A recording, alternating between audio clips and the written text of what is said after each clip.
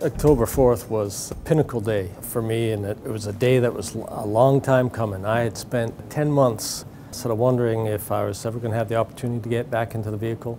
It wasn't uh, that clear to me uh, how the lineup was going to go, and I had worked hard to prepare myself if the opportunity was there.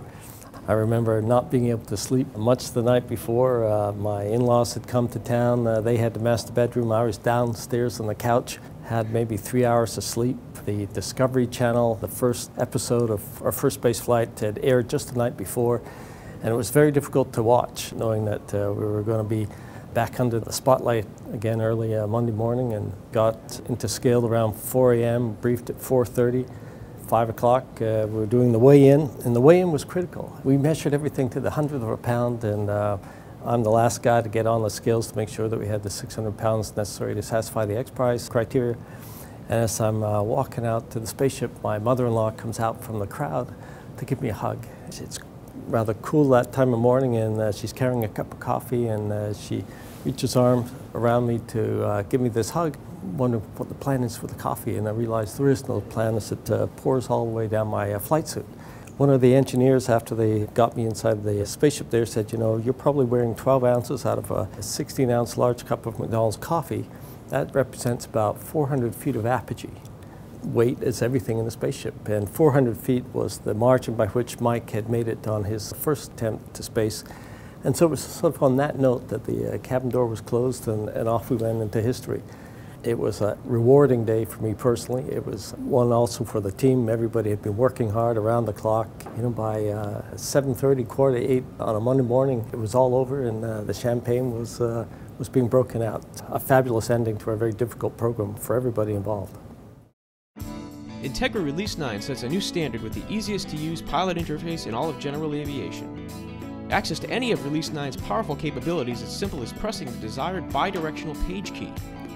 Pressing the same key in a desired direction navigates to the clearly labeled tabs with no more guessing as to what a given pilot input would do.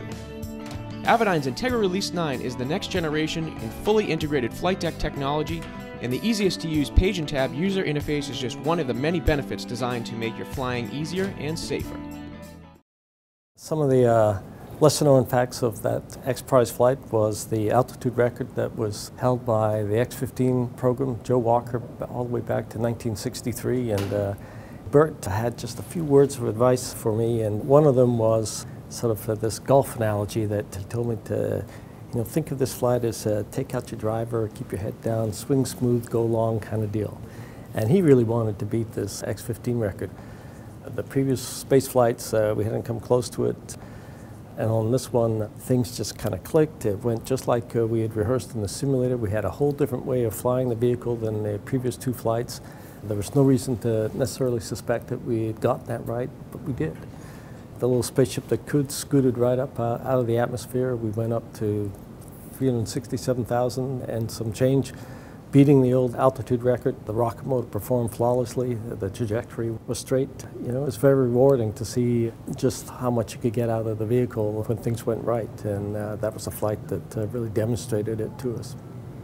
You know, when you finally arrive in space, it is so rewarding. And the neatest thing about it is uh, I can't spoil it for anybody just by talking about it because it's a, it's a very personal one. The rocket motor shuts down and uh, wonderful things happen. They happen just like that. The, the noise goes away, becomes very quiet. There's no shaking, shuddering vibrations from that motor. And you get this instant calm of weightlessness. Even though I'm strapped down, all the tension comes out of your limbs. Everything is just, you're unencumbered. And then you have that magnificent view. And I was able to take some uh, photos that have done uh, well to capture the view that is up there, I think. Someone also gave me a uh, paper spaceship one just before I uh, walked on board, and I pulled that out and tried to fly it unsuccessfully. But I, I, certainly did appreciate my time there, and even though it's four minutes, it's not a long time. It's certainly long enough for you to uh, soak it in and take it in, appreciate it, and uh, enjoy it. And even though I was still sort of in the uh, flight test mode, you cannot help but sort of appreciate the perspective that uh, these kind of flights put you into. Cirrus Design's Vision SJ50 single engine personal jet offers exceptional fuel efficiency, flexible seating for up to seven, advanced avionics, and all the Cirrus safety features you expect, including the Cirrus airframe parachute system. With its V-tail design, the Cirrus Vision is technologically advanced, yet engineered to be simple to fly, to allow owner pilots more lifestyle pursuits than any other personal aircraft. Learn more about the Vision SJ50 at cirrusdesign.com.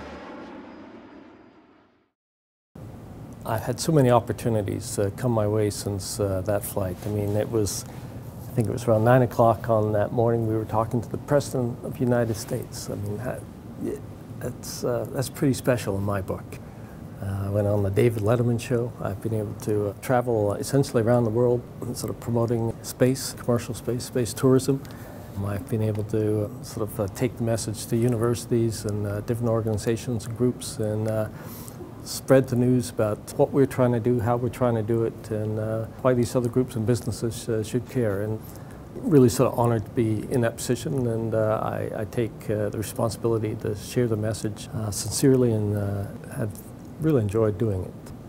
I think with uh, Spaceship Two now uh, on the heels of coming out the door, that a successful follow-on program will be what I've looked forward to doing uh, all along, and it uh, puts us on the map as no longer just another gimmick that, well, they had their uh, weekend of glory or they went around the world, but the so what uh, is going to be answered. And that's very satisfying, and I think it's really going to change the way people view space and give it the opportunity to do things that that influence our lives the way aviation has.